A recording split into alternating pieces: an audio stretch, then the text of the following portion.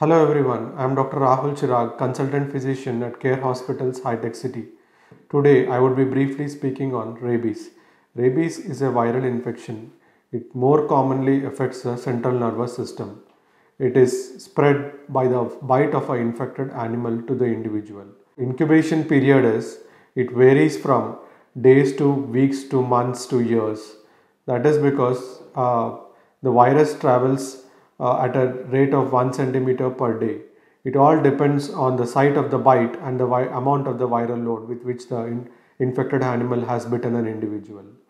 So, coming to the symptoms, the more common symptoms what we see are fever, sore throat, headache, uh, hallucinations, delirium, uh, stiffness of the body, coma, and seizures are the part of the symptoms, most common symptoms. Coming to the prevention, you have two modes. One is pre-exposure prophylaxis, another one is post-exposure prophylaxis.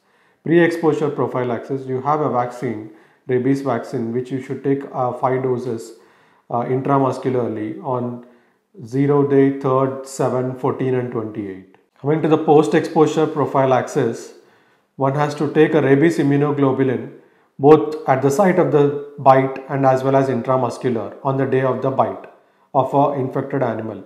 And simultaneously you have to take a rabies vaccine also in post exposure you have to take 2.5 international units on 0th day 3rd day 7th day 14 and 28 days. You have to even take a tt vaccine on the day of the bite of the in- infected animal.